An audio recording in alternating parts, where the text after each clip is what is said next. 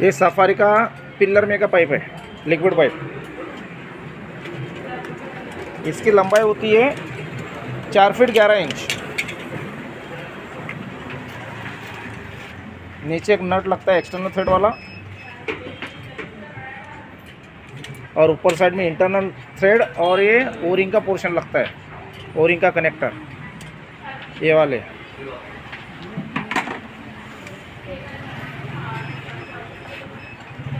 एकदम reasonable rate में हमारे पास ये पाइप अवेलेबल है।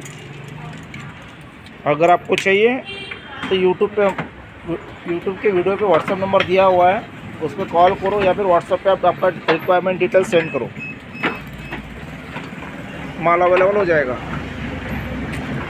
और ये वीडियो मेरे ज़्यादा से ज़्यादा लोग शेयर करो और सब्सक्राइब करने लगो ताकि नए नए प्रोडक्ट का मैं वीडियो अपलोड करूँ तो उनको उनको काफ़ी ज़्यादा फ़ायदा हो।